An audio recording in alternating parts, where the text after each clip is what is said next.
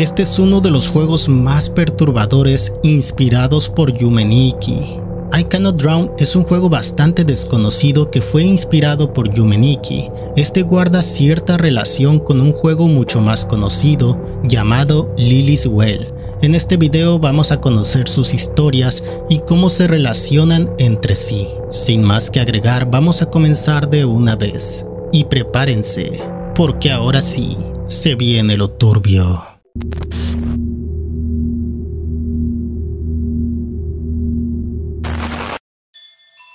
Primavera del año 2005. Esta historia comienza presentándonos a Lily Tabachi, una inocente niña de 9 años que junto a su padre reside en una modesta cabaña en la ciudad de Bethany's Mirror, Vermont. A Lily le gusta tejer, siendo muy buena en ello. Una noche lluviosa antes de ir a dormir, ella se encuentra tejiendo sentada en el sofá, mientras su padre prepara sus maletas, ya que tenía que salir de imprevisto a trabajar. Confiando en que Lily se portará bien en su ausencia, le prepara la cena y seguidamente la arropa antes de retirarse. Mientras Lily duerme, los gritos de alguien pidiendo ayuda la despiertan en medio de la noche.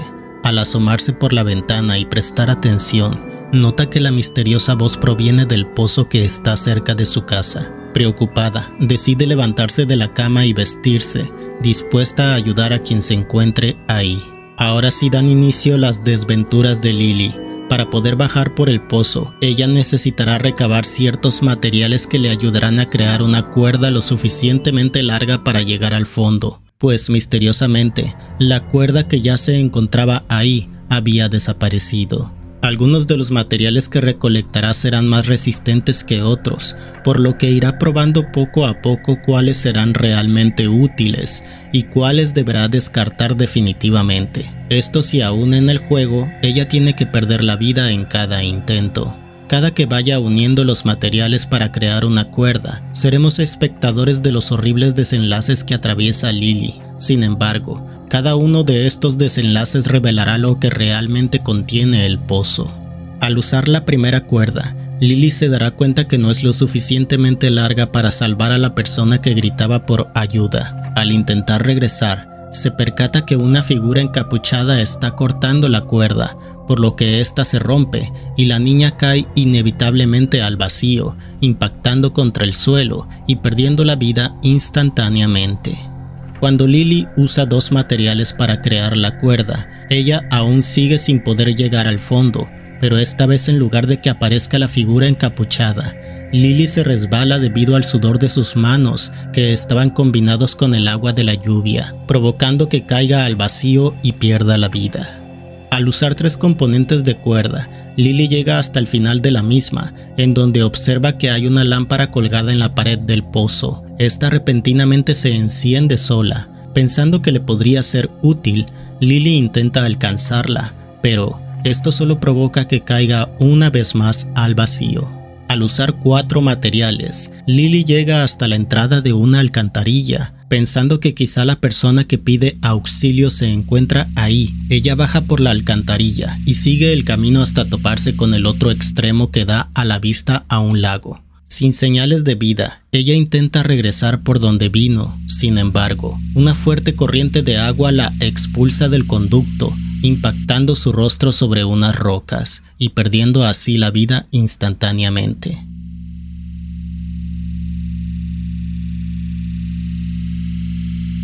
Al usar cinco cuerdas, Lily llegará hasta una ventana en la pared del pozo. Ella logra ingresar a través de esta, cayendo sobre algo suave y blando.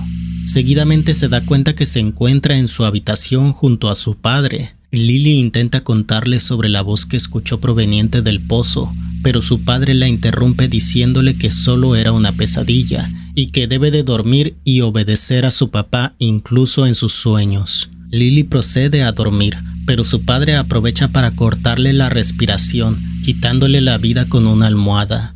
Ahora, surge una gran pregunta. ¿En verdad el padre tenía razón y todo lo que ha ocurrido hasta este punto del juego solo fueron pesadillas? Al usar seis cuerdas, Lily llegará a una especie de habitación oscura en donde es difícil de ver algo. Las paredes del pozo son reemplazadas por grandes ventanales y en la esquina al fondo, Lily se topará con el cuerpo de una persona en estado avanzado de descomposición. Lo extraño es que el cuerpo aparentemente lleva la misma vestimenta e incluso el mismo color de cabello que Lily. Este final concluye con Lily siendo encerrada en el pozo, en donde sufrirá el mismo destino que aquel cuerpo. Usando siete cuerdas, Lily trepará en una enredadera que está cerca del final de la cuerda. Al aferrarse a esta, las hojas se adhieren fuertemente a su piel, succionando su líquido vital. Previamente la niña ya había leído un artículo referente a esta planta en la estantería de libros de su casa. Esta planta era conocida como la hiedra nublampírica y se caracteriza por sus hojas color lila, que sirven como ventosas para succionar el líquido vital de sus presas, dejándolas completamente secas. Este tipo de planta solo puede abrirse en las noches de lluvia o cuando está nublado. Aun conociendo este dato, Lily fue víctima de la planta, pereciendo así en la oscuridad del pozo. Juntando ocho cuerdas, Lily llegará hasta un conducto de ventilación que está semiabierto. Al adentrarse ella podrá ir por dos caminos, uno de ellos lo abordaremos mucho más adelante. Por lo pronto enfoquémonos en lo que ocurre en el camino principal. Después de avanzar y pisar una rejilla, Lily caerá en una especie de jaula, donde al impactar contra el suelo su pierna se fracturará. El ruido provocado despertará unas horribles criaturas con una apariencia similar a la suya. Estas terminan devorándola sin piedad. Uniendo nueve cuerdas, la niña logrará ver el fondo del pozo, pero antes de hacer algo, la cuerda nuevamente es cortada, haciéndola caer y rompiéndose las piernas en el impacto. Desesperada, Lily grita por ayuda, repitiendo las mismas palabras que escuchó de la voz proveniente del mismo pozo.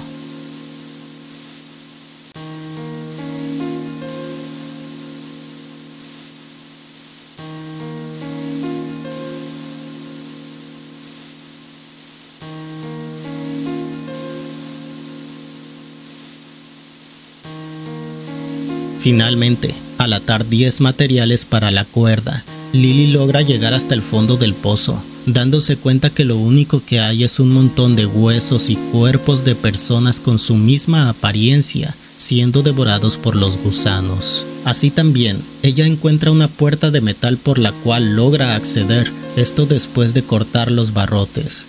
Ya dentro, Lily obtiene una tarjeta de identificación, permitiéndole llegar hasta el último piso, en donde se encuentra con dos personas encapuchadas. Estas se sorprenden al verla y uno de ellos se encarga de llevarla directamente con su padre, siendo aquí donde ocurre parte de la revelación de lo que está ocultando realmente el pozo. Frente a ella su padre le muestra una iteración, una réplica de ella misma. Este le explica que su objetivo es crear una Lily que le haga caso, que sea una buena chica, pues para él, ella siempre lo ha desobedecido y no acata sus órdenes como él realmente desea.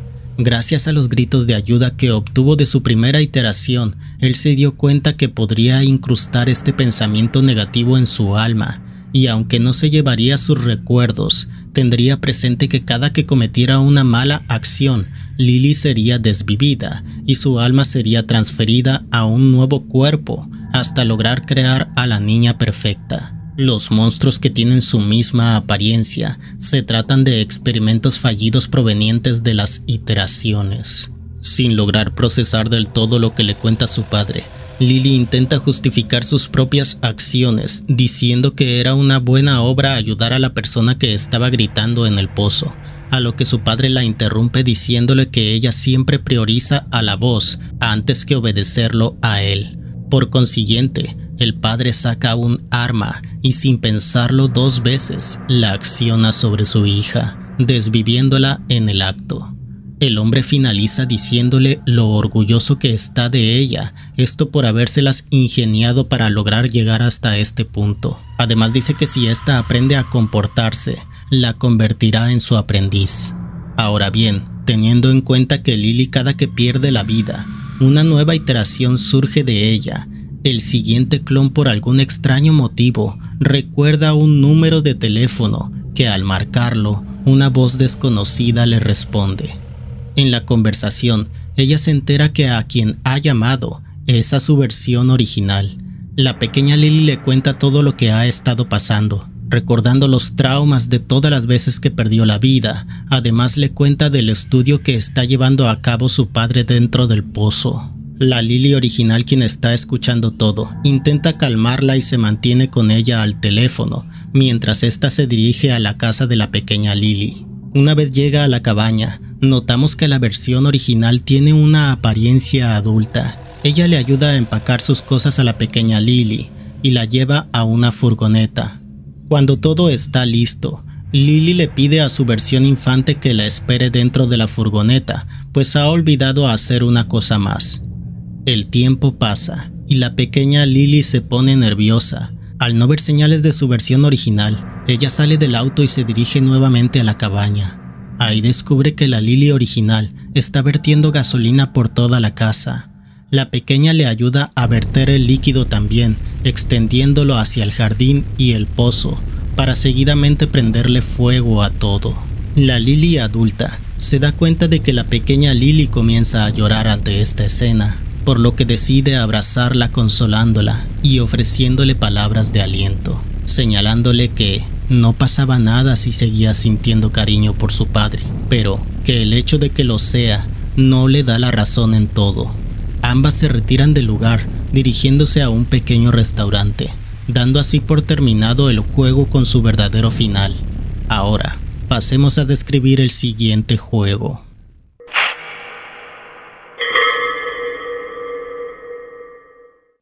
Ume despierta dentro de una misteriosa cueva.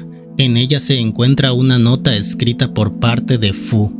Este le dice que deberá bajar por el pozo funerario para poder explorar los mundos alojados en este. La tarea que le encomienda es la de recolectar objetos que se hacen llamar efectos, los cuales algunos le brindarán habilidades únicas que le permitirán seguir recolectando el resto. Es así que Ume va recorriendo los mundos obteniendo dichos efectos. En el transcurso, encontrará partes humanas de una mujer que aparentemente es inmortal. Estas partes las irá depositando en la cueva en donde despertó. Finalmente, al haber completado la tarea, Ume se transportará hasta un bosque donde hallará a cuatro chicas frente a una fogata, realizando una especie de ritual, a lo que Ume utiliza el efecto vidrio y procederá a desvivir a la aparente líder. Por consecuente, el resto de las chicas saldrá corriendo. Ume las persigue y les quita la vida una por una. Después de haber acabado con todas, la chica se dirige a la profundidad del bosque, donde encuentra a otra chica sin brazos, que al verla esboza una sonrisa, dejando caer lágrimas de líquido rojo. Aquí es donde podemos apreciar completamente la apariencia de Ume.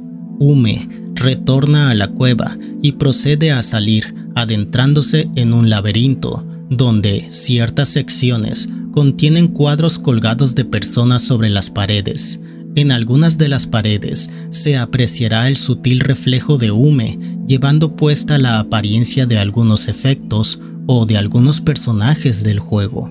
Cuando por fin sale del laberinto, esta baja por una montaña hasta dar con una larga carretera, donde al final del camino podremos ver el verdadero color de la vestimenta de Ume.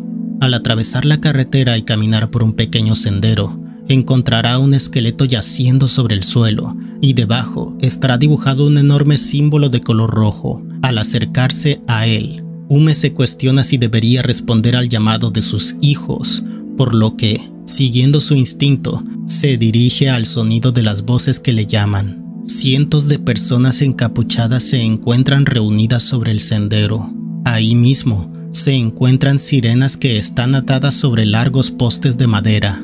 Al final de la muchedumbre, el esqueleto que se encontraba recostado sobre el suelo inicialmente, ahora está sentado cubriéndose la parte frontal del cráneo. Mientras tanto, una sirena le observa aterrada. Entonces, el esqueleto se descubre el cráneo soltando un gran suspiro. El ritual de resurrección resultó ser todo un éxito. Ume ha regresado a la vida. Para entender cómo se relacionan estos dos juegos, vamos a indagar más en I Cannot Drown, que si bien no tiene una historia muy bien definida, en sitios externos en donde se habla de la biografía de los personajes y en conjunto con la poca información que está dentro del juego, nos da una idea de en qué consiste su historia. Para empezar son algo confusos los espacios temporales que se manejan, pero considero que el juego está ambientado entre el Japón feudal y la época moderna. En el mismo, tomaremos control de una villana, el alma de Ume, que es arrancada de su cuerpo físico, siendo encerrada en un mundo de pesadilla, creado a partir de sus recuerdos con el propósito de retenerla por la eternidad. Su pasado nos indica que hace 700 años ganó la inmortalidad gracias a que devoraba sirenas, pues, según la mitología japonesa, los ningyo, en sus rasgos físicos, se creían que eran monos de dientes pequeños y afilados como los de un pez. En otras regiones se decía que tenían cabeza humana. También se decía que tenían colas largas con escamas doradas y una voz dulce. Cualquiera que probara la carne de un ningyo viviría durante cientos de años o incluso sería acreedor de la inmortalidad. Este dato se hace presente cuando podemos interactuar con algunas de las sirenas esparcidas en el juego, particularmente en el evento donde Ume abre desde el vientre a una sirena, exponiendo su interior y seguidamente consumiéndola. En sí no se sabe exactamente el motivo o la causa que llevaron a Ume a consumir la carne de las sirenas. Sin embargo, puedo crear una hipótesis desde dónde se originó este comportamiento. I Cannot Drown cuenta con tres finales distintos. En el primero, The First, Ume se encuentra en el cementerio sosteniendo un pedazo de vidrio, dirigiéndose hacia una chica vestida de obi blanco. Al encararse con ella, el fondo se oscurece repentinamente. Aquí asumo que sería la primera vez que Ume llegaría a consumir a un ser humano. Simultáneamente pasaría a comer personas inocentes y niños. Sería tanta su hambre que se vería incapaz de saciarla y eventualmente llegaría a consumir la carne de las sirenas, obteniendo así poco a poco la inmortalidad. Esa desesperación podría interpretarse con el efecto hambruna, pues la descripción señala que es algo que no cesa jamás. De alguna u otra forma, Ume fue tratada como un ser divino, esto posiblemente a que contaba con numerosas habilidades que absorbían a los seres que consumía. A su vez sería capaz de utilizar una magia que ella llamaba mitosis acelerada. Esta le permitiría generar otras extremidades en su cuerpo y regenerarse instantáneamente. Fue así que se hizo un culto en su honor, del cual ella sería la líder, atribuyéndole el sobrenombre de la bruja de las estrellas. Ella fungía como protectora del culto y para evitar que causara catástrofes a las aldeas, se le entregaban como ofrenda mujeres vestidas de novia para su consumo, razón por la cual tiene un efecto llamado novia, esto para representar el recuerdo de esa tradición. Un detalle curioso a señalar es que cada que se obtiene un efecto, estos aparecen en el nexo que conecta con el pozo fúnebre, con la forma de sirenas sumergidas individualmente en grandes ollas con agua hirviendo. Algunas denotarán desprecio y odio hacia Ume, y otras se verán intimidadas y temerosas ante su presencia. Ahora bien, en el tercer final titulado Coming Revival, para que la bruja pueda materializarse en el mundo físico, deberá recolectar todos los efectos del mundo de sus recuerdos y las seis partes del cuerpo. Esto mientras los miembros del culto a los que se refiere como sus niños harán los preparativos para cuando emerja de la dimensión espiritual, reconstruyendo así su cuerpo con la ayuda de dos sirenas como ofrenda. Este final brinda una sutil clave, y es que se da a entender que para derrotar a Ume e impedir que siga consumiendo seres, su cuerpo debe de ser diseccionado y su alma transportada al mundo de las pesadillas, evitando así que resurja en el mundo real. No obstante, aparentemente la bruja siempre encuentra la manera de revivir y termina regresando a la vida. Este mismo final cuenta con una sección secreta, donde podemos conocer al misterioso personaje que le dejó la nota a Ume al principio del juego. Esta es un alma que llegó a su mundo con forma de ave y su nombre es Fuku. Al interactuar con él, conoceremos un poco más de información sobre los efectos y detalles sobre Ume, pero también se hará mención de dos nombres relevantes en la trama, Mifuyu y una dama de rosa. Esta última aparece en un evento cuando Ume devora a la sirena que se encuentra en la playa y utiliza el efecto Ama sobre el agua. Al salir reiteradamente del agua, sobre la arena se dibujará un gran símbolo rosado que al atravesarlo nos llevará con este peculiar personaje. Ahora bien, antes de comenzar a atar cabos, resumiremos el segundo final, en Her Memory. Después de que Ume atraviesa el laberinto, caminará por un sendero rojo con ojos observándole en el fondo. En el camino se encontrará con un monstruo que lleva puesto en el rostro una máscara de gas, permaneciendo inmóvil mientras Ume avanza.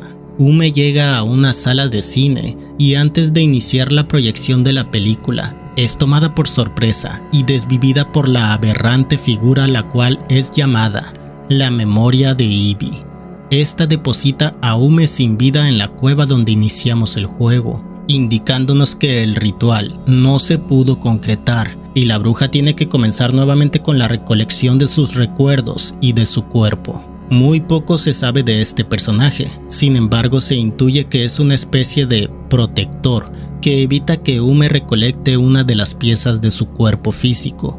La podemos encontrar una vez se tenga el efecto artista y atravesaremos las calles de un lugar glitchado hasta llegar a una habitación con cuadros. Al hacer uso de este mismo efecto sobre los lienzos, estos guiarán a Ume por un camino rojo hasta hallar su brazo derecho.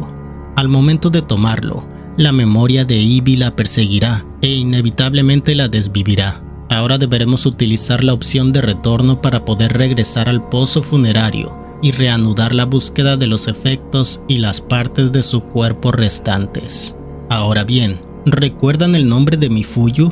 En Lily's Well, para obtener uno de los materiales de la cuerda, hay que entrar en una cueva cerca del puente, donde al fondo habrá colgado un cuchillo rojo y al lado una tarjeta de regalo. En esta se felicitará a Lily por su cumpleaños, estando fechado al 20 de julio de 1985, pero para ese entonces ella habría tenido un año de edad.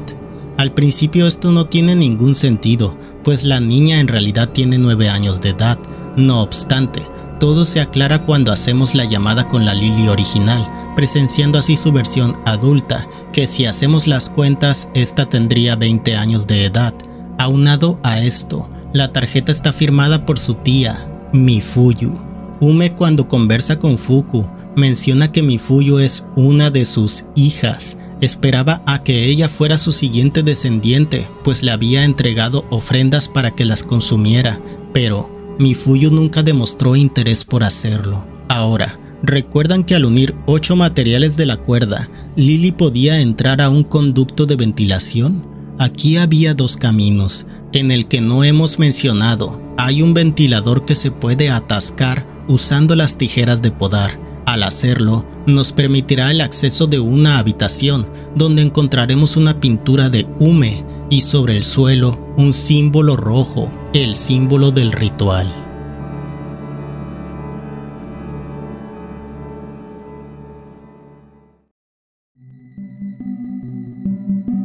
Dentro del pozo existe un laboratorio oculto creado por la Universidad de Azot. Aquí trabaja un grupo de alquimistas que llevan a cabo la investigación y experimentación del proyecto Ninfa. El mismo está organizado por un culto que se hace llamar bajo el mismo nombre que la universidad. El líder a cargo de este proyecto es el profesor Antonio Tabachi, el padre de Lily, quien intenta recrearla. Cada que su hija pierde la vida, su alma es transportada a un nuevo cuerpo, generando así una nueva iteración. Pero inicialmente esto no era así. Interpreto que Mifuyu podría ser la hermana de Antonio, y esta al ser integrante del culto, de alguna manera lo convenció para realizar el ritual con la finalidad de traer a la vida a Ume. Aprovechando sus conocimientos, se darían a la tarea de investigar personas que tuvieran un bajo perfil y cuya carne fuese apta para hacer la ofrenda de la bruja.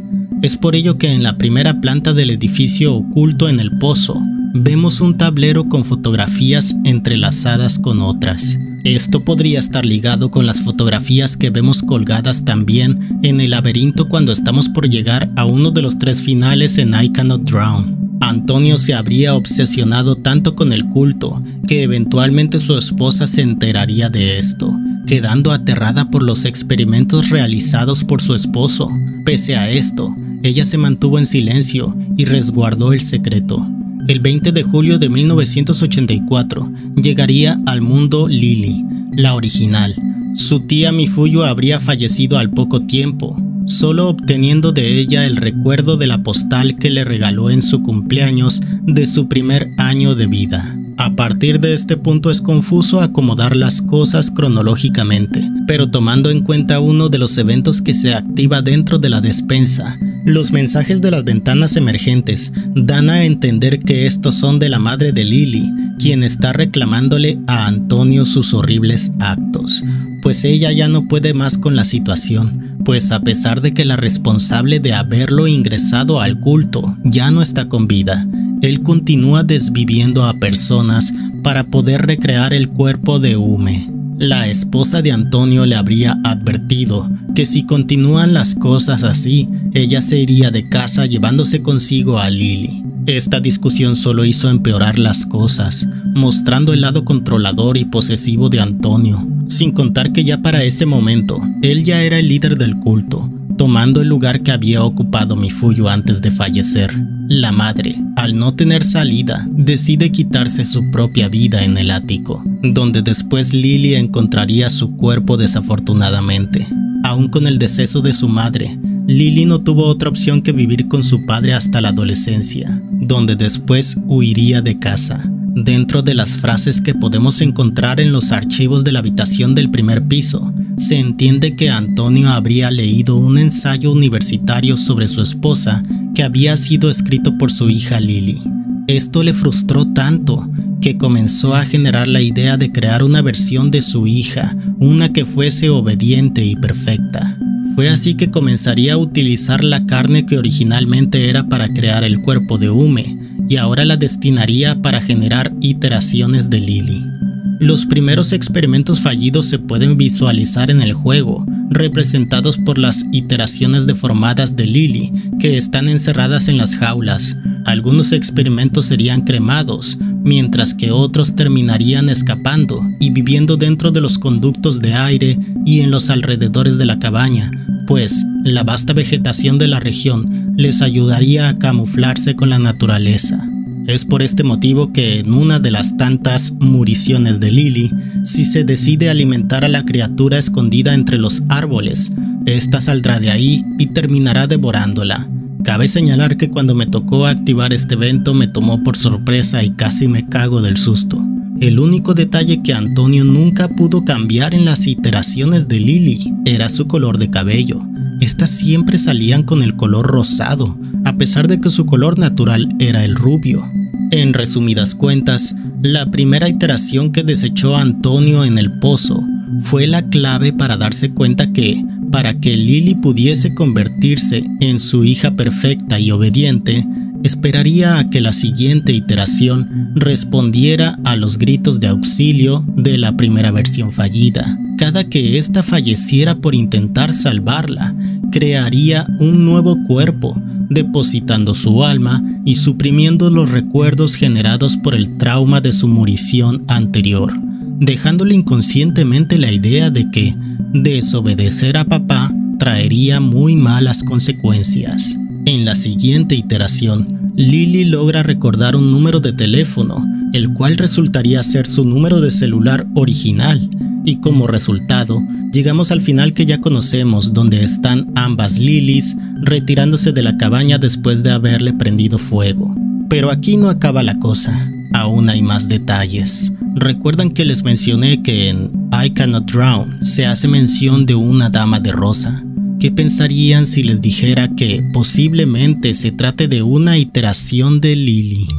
Bien, pongámonos en contexto. En el final Coming Revival, después de haber accedido al mundo de la Dama de Rosa y después de haber conversado con Fuku, podremos proseguir con el final del juego sin ningún cambio aparente. Sin embargo, al momento de que Ume llega hasta el esqueleto e interactúa con él, abruptamente será detenida por la Dama de Rosa. Espero no ser el único que pensó que este personaje se parece mucho a Lily. En la conversación, la pelirrosa nos indica que ha sido invocada en el mismo mundo de pesadilla que Ume, con el propósito de prevenir que sus acciones dañen el mundo físico. No obstante, el efecto que utiliza solo le permite observarla, por lo que no puede retenerla del todo. Además, hay líneas de diálogo que llamaron mucho mi atención y pienso yo que tienen una relación con Lily. La primera nos dice que, para prevenir un trauma mental severo, los recuerdos de mi muerte y mis deberes permanecen sellados en este efecto. Incluir tal conocimiento tiene un 96% de probabilidades de que me quite la vida al poco de renacer. Bastante curioso, ¿no? La segunda línea que me llamó la atención dice así. Fui un sacrificio en pos de cumplir un deber, entonces sentí por primera vez el amor. Su llamada me llenó de tanta fuerza que pude retroceder y prevenir mi sacrificio.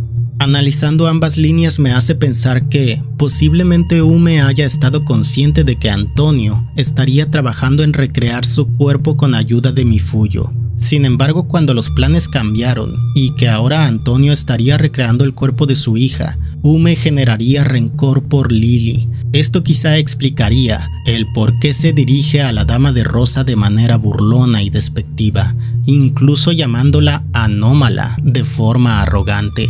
Puede que la iteración de Lily se haya enterado de que el culto que lideraba su padre intentaba revivir a Ume y por eso creó específicamente el efecto observar, esto con el propósito de investigar el comportamiento de la bruja. Igualmente, dicho efecto le permitiría suprimir el trauma de sus muriciones pasadas. ¿Se refería acaso a aquellos momentos donde por cada cuerda que ataba la llevaba a destinos fatales? En cuanto a la frase, incluir tal conocimiento tiene un 96% de probabilidades de que me quite la vida al poco de renacer, la puedo interpretar de dos maneras. Una haciendo referencia a que su padre terminaría desviviéndola, esto por traer consigo los recuerdos de sus moriciones pasadas, o la segunda es que Lily comenzaría a estar consciente de que seguir la voz del pozo la llevaría a una probable muerte. Por otra parte, en cuanto a las últimas líneas, siento que se refieren al momento en que logró recordar el número de teléfono de su versión original y que gracias a ese contacto pudo evitar que su padre siguiera creando copias de ella y, sobre todo, que ahora pudo recibir el amor que no pudo obtener de él. Todo esto son más que suposiciones mías, teorías que intentan explicar la relación que tienen ambos juegos, y es que no me parece casualidad que Pure Ice Blue haya puesto en I Cannot Drown un personaje similar a Lily, al menos en el cabello. Además, si tomamos en cuenta el easter egg de la habitación en el juego de Lily's Well y lo relacionamos con el cuadro de Ume en I Cannot Drown, Tal vez con esto se haya querido crear un puente con la Dama de Rosa. Otra pista muy sutil y que deja a la interpretación del jugador es la relación entre Ume y Lily que se da en el laberinto final. Aquí hay dos fotografías, una de una niña y otra de una mujer. En el reflejo sobre la pared se observa la figura del NPC que se encuentra en la habitación donde obtenemos el efecto artista. Intuyo que en realidad esta se trata de la representación de Mifuyu, la tía de Lily. La niña y la mujer de las fotografías serían Lily y su madre.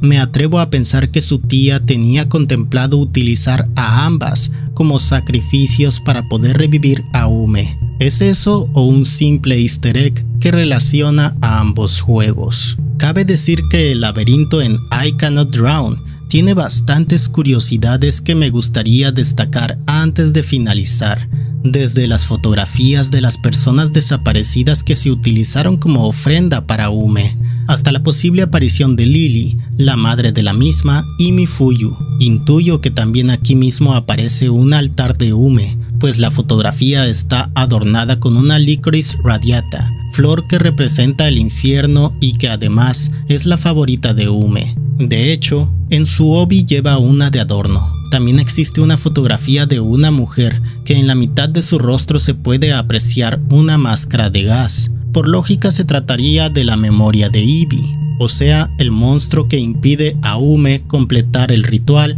obligándola a recomenzar. Esta podría ser el alma de una de sus víctimas, que por venganza tomó esa misma forma y está en búsqueda de Ume para evitar que ésta siga reviviendo constantemente en el mundo real cada que regresa al mundo de pesadillas. No cabe duda que ambos juegos tienen una historia de trasfondo interesante. En cuanto al apartado de horror destacaría I Cannot Drown, pues tomando en cuenta que es un fan-made de Yumeniki, cabe destacar que este es mucho más oscuro y turbio que el mismo, lo cual ya de por sí es bastante difícil de lograr, remarcando que en I Cannot Drown se juega bastante con el horror corporal, a tal grado de ser bizarro e incómodo. Está por demás decir que la representación de algunos efectos son muy gráficos, esto pese a que el arte tiene un estilo amateur. Como ejemplos tenemos el efecto ardor y el efecto hambruna, que tienen una apariencia sumamente inquietante. El único punto negativo que le encuentro a este juego es su música, la cual no destaca en lo absoluto, además de que algunas piezas musicales llegan a sonar bastante saturadas y con un volumen alto, por lo que si la escuchas por un largo periodo de tiempo te puede lastimar los oídos, aparte de que se escuchan muy monótonas. Esto con excepción de la canción final que es una verdadera joya. Con respecto a Lily's Well, este juego es más destacable. En primera, Alabo que se haya utilizado el estilo de pixel art horror, pues esto hace sentir que estamos jugando un juego de vieja generación. Puede parecer muy simple, pero el arte en los experimentos fallidos de Lily, vaya que logran perturbar. Sin embargo, detrás de esos terroríficos pixeles y el morbo creciente del jugador por descubrir las maneras gráficas en las que Lily pierde la vida, se encuentra la razón de que este título me haya parecido conmovedor. Y es que detrás de todo esto hay un tema en particular que a lo mejor no le pusimos mucha atención, el abuso de autoridad de los padres. Y bueno, el juego tiene bastante de esto. Esto lo podemos encontrar en algunas descripciones de objetos, donde podemos interpretar el control desmedido que tenía Antonio sobre su hija. También no podemos ignorar algo bastante turbio, y es que Antonio tiene guardado un látigo en una caja fuerte, protegido con contraseña. Dejo a la imaginación el modo en que utilizaría esto. Otros indicadores son cuando se intenta marcar al número 911 Aquí Lily comenta que su padre le ha ordenado que nunca marque a este número. También está la inexplicable razón de que Antonio tenga la alacena bajo candado. También no podemos ignorar que eliminó a su hija en varias ocasiones, como cuando la asfixió con una almohada y cuando le dispara a quemarropa. Cada que Lily no lo obedecía, este le recalcaba que era una niña mala y por consecuente le formaba una errada idea de que las niñas que se portan mal siempre resultarán heridas o incluso perdiendo la vida. Antonio no tomó en consideración en ningún momento los sentimientos de su hija y en cada iteración solo se encargó de hacerla sufrir y atormentarla siempre manteniendo la egoísta idea de moldearla bajo sus propios deseos y así crear a una niña perfecta que siguiera sus órdenes. Bajo la inocencia de una niña de 9 años, Lily no alcanza a comprender por qué su padre la ha lastimado tanto. No importaba lo que ella hiciera, ante los ojos de su padre, siempre resultaría ser una niña mala. Todos estos sentimientos reprimidos por fin son liberados cuando incendia la casa junto con la Lily original. En este momento final, la escena del abrazo es donde se parte el corazón. Resulta tan emotivo, pues en ambas se refleja el dolor que tuvieron que atravesar por culpa de la frustración y obsesión de su padre. En las palabras textuales de la Lily original, esta dice, los adultos no hacen daño a los niños. Lily, no te mereces nada de lo que te ha hecho. Solo porque alguien sea tu papá, no le da la razón en todo. Y es que No, no es malo que se quiera complacer a nuestros seres queridos, pero si tomamos en cuenta que muchas veces tenemos que tomar ciertos sacrificios para que se enorgullezcan de nosotros, entonces esto nos hace cuestionarnos, ¿está bien seguir buscando la aprobación de nuestros seres queridos solo para sentirnos amados, incluso si tenemos que sacrificar nuestra felicidad? Yo creo que la respuesta es un gran no. Tenemos que buscar nuestro propio camino y nuestro amor propio. Muchas veces solo tú podrás valorar lo que entregaste. Esto finalmente lo comprendió Lily al final del juego, logrando liberarse de las ataduras de su padre, encontrando el amor propio. Hemos llegado al final de este video. Si te ha gustado deja tu pulgar arriba y si eres nuevo suscríbete. Por último agradezco a los miembros del canal y nos veremos en un próximo video. Adiós.